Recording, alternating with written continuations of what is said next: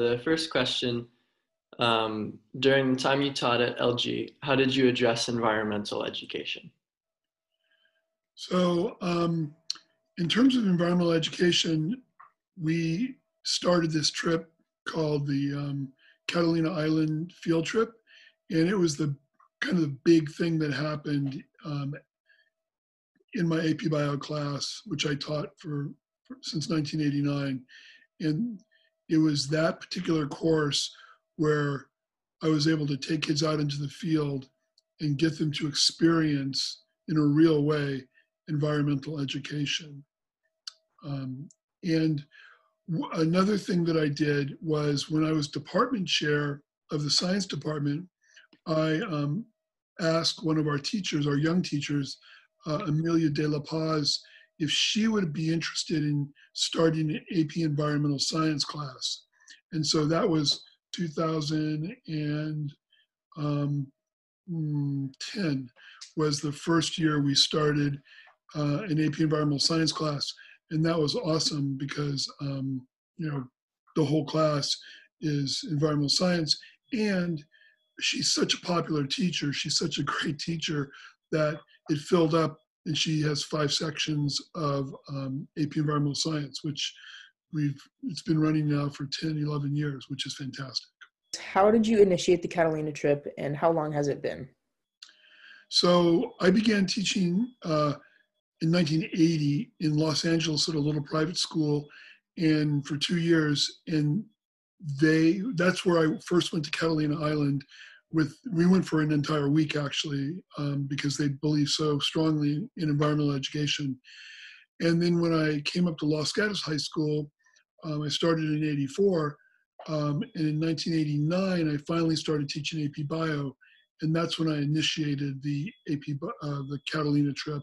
And it started out um, very small, just I think 12 kids. And we took a couple of cars down, drove down to LA, and um, you know, did the trip. So, what is the main focus of the trip, and how does it relate to building awareness of climate change? So the main focus of the trip has always been, in my mind, uh, two, s- several fold. First of all, um, number one, I think the best way for kids to learn is to get out of the classroom. And so whenever I can take kids on field trips, I know that those will be the most memorable things that happen to them in high school. And so um, that was number one. Let's get them out of the classroom. Let's get them out into the environment. Um, and one of my missions in doing this trip is um, because I had such a wonderful experience when I took kids down there in uh, my first couple years teaching. I knew how magical the place was, and I knew that it would allow kids to fall in love with nature, with the environment. And to me, if you can get someone to fall in love with the environment, with nature, um, then you've got an environmentalist for the rest of your life. And so you don't have to specifically teach like climate change, because when I started teaching, when I started taking kids down to um, Catalina Island, even though climate change was an issue, it was not the issue that it is today. It wasn't a big, so it was not really on the horizon. But now it's a big issue.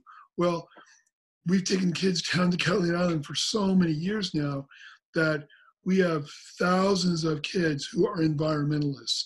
And so, even though we didn't specifically teach them about um, climate change, I am sure they are all voting in a way um, and doing things in their lives that will help promote awareness of climate change and best practices in terms of helping our climate. Being a sophomore, I've already heard it from multiple students about the trip. Those who have gone have special memories, and others look forward to when they'll be able to go. What makes it so special? Well, I mean, first of all, it's three. It's a three-day trip. Um, we two classes go AP Bio and AP Environmental Science, and probably about 60% of each of those classes go. And we take two airplanes because there's so many people now we have to fly two airplanes down.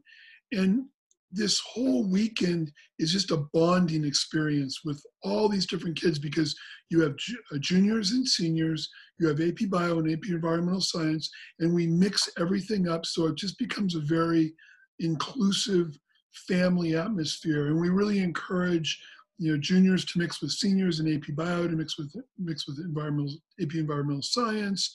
Um, you know, there's the dorms. They get to live in the dorms, which is really cool. We all eat together in a dining room. Um, the instructors are just fantastic. They're super enthusiastic.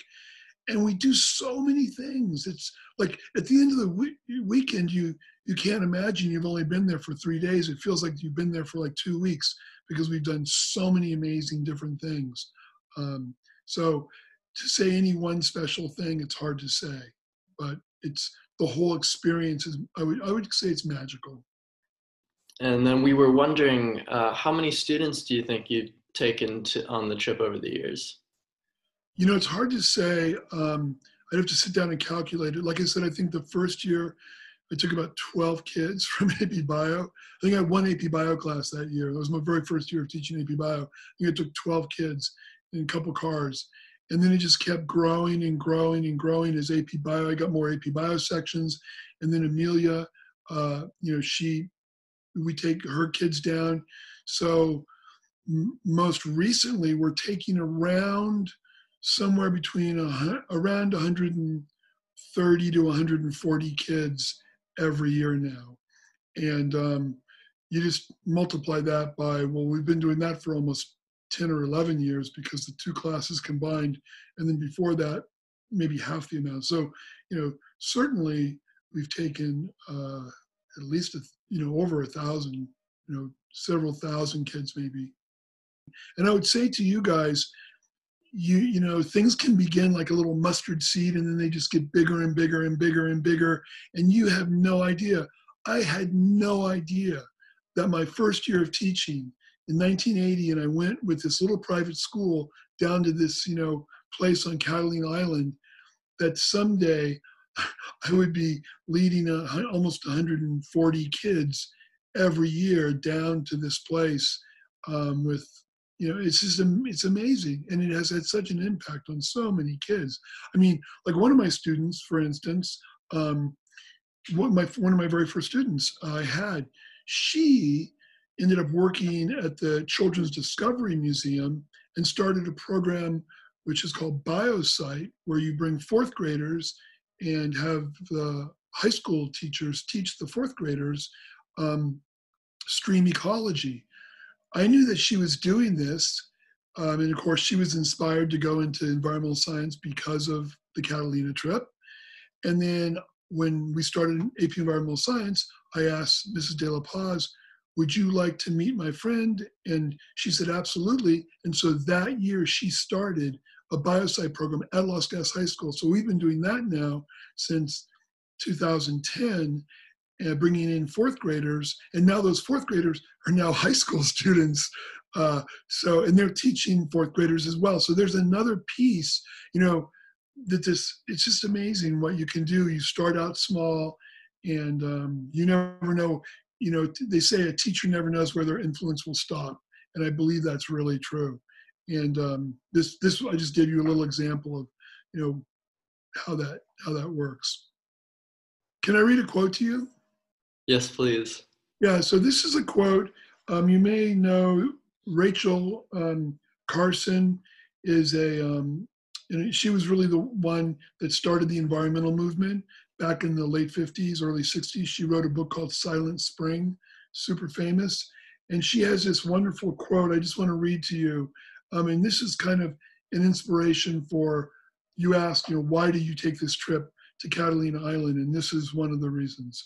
She said, if a child is to keep alive his inborn sense of wonder, he needs the companionship of at least one adult who can share it rediscovering with him the joy, excitement, and mystery of the world we live in.